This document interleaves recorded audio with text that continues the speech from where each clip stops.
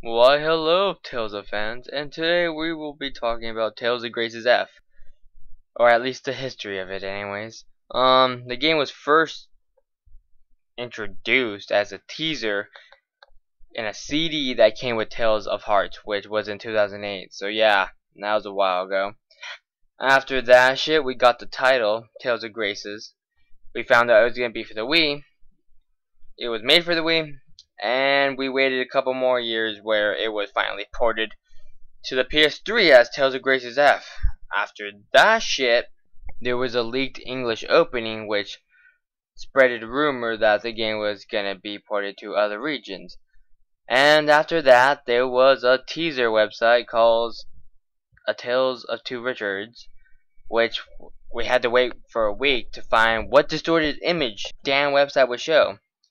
And after that week was over, Tales of Graces F was announced. And pretty much a year after that, we're gonna get it now. So yeah, with pre-order DLC and Graces is is his ness. And um really that's all I wanted to say. I just about four years it took for this fucking game to finally reach us. And yeah, wow, derp. Production.